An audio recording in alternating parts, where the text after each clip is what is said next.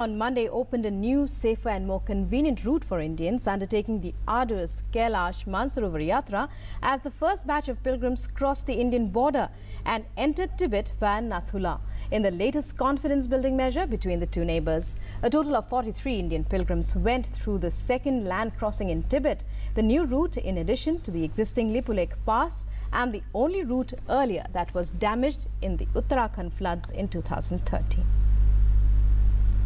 Over half a century after it was closed following the 1962 Sino-India War, the Chinese ambassador to India received the first batch of Indian pilgrims to the Kailash Mansarovar Yatra in Tibet on Monday, marking the opening of a new route to the Nathula Pass in Sikkim.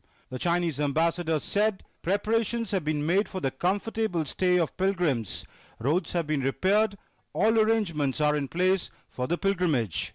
The Chinese ambassador, who himself crossed over to Tibet through the Nathula Pass on Sunday, received 43 Indian pilgrims, including BJP MP Tarun Vijay and his wife, on Monday morning. The new route to the Himalayan Pass will facilitate more comfortable travel for Indian pilgrims, especially the elderly, by buses compared to the existing route via the Lipulekh Pass in Uttarakhand. This batch will complete the Mansarovar Parikrama on June 27th and the Kailash Parikrama on June 28th before returning to Indian side on the 3rd of July.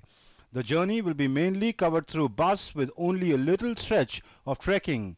Kailash Mansarovar is believed to be the seat of Lord Shiv. Hundreds go on the pilgrimage every year with a part of the journey overseen by Chinese authorities.